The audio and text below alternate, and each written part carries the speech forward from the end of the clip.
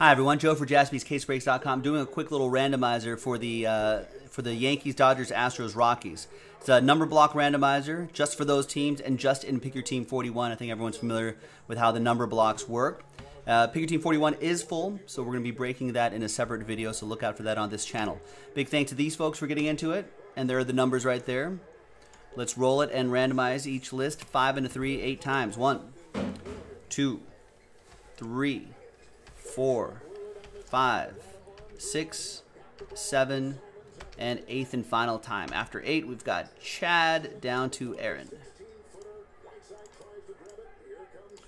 Five and a three, eight times for the numbers. One, two, three, four, five, six, seven, and eighth and final time. After eight, we've got two down to zero.